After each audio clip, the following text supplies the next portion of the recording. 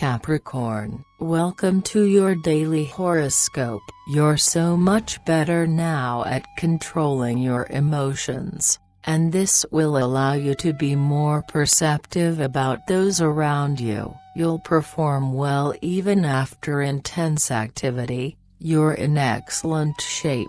You need to use up your excess energy. Mood Someone you know will prove to be of invaluable support. It's time to pick up where you left off with your most important plans. Love Your instincts will not be wrong. Don't hesitate to follow your intuition. Your initiatives vis-a-vis your partner are worthwhile. You have the ways and wherewithal to charm people today. Money You will definitely be looking for action and your mind will be sharper than usual.